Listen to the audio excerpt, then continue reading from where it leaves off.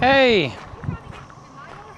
I no, I just had a question. We um I own a lawn care company, but what me and my boys do is once a week we actually go out in around the area and we look for yards that are like unkept and stuff like that and people that need help. And this we noticed obviously this one across the street. I didn't know if you knew any information about that home or does anybody live No, there? I mean, I can pay you to do my yard. Um, I mean, I, So- I have two kids with special needs, and ah, yeah, yeah, yeah. and I don't know, like most people around here know me. I'm a single mom, and Yeah, yeah. um, yeah, I had somebody doing my lawn, and they just stopped.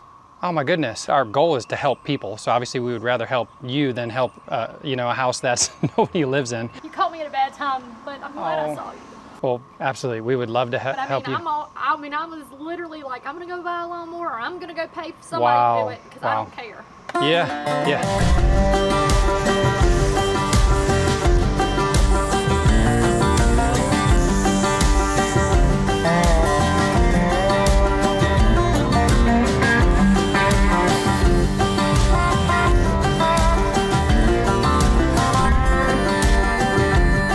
Hey, this is Justin from the Blessing Boys, and every yard we transform is special, but today's was truly mind blowing. We prayed this morning for guidance to the right yard, and after a long search, we found one that was overgrown but abandoned. We spoke to a neighbor across the street, and it turns out we believe she was the one that we were meant to help. She's a single mom with two special needs, struggling with lawn care after her service quit, and we were there just in time. And she was incredibly grateful for that. So we respected her privacy, added a little surprise at the end, and the yard looks fantastic. We're also setting her up with long term care for her yard. This was an extraordinarily special project for us. Hey, thanks for your support. Now let's get right into this yard transformation.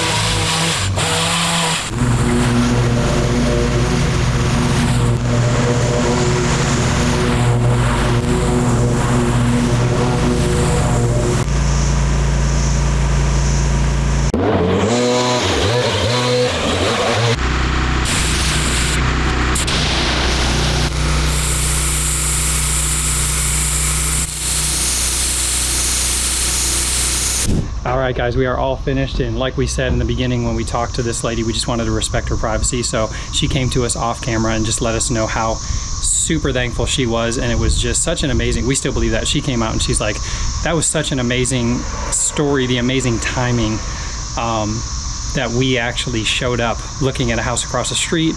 Came for, to her house specifically to ask, and just the timing was amazing. It was just the day, even down to the moment that she was looking for somebody to do her yard. So really, really cool how that worked out.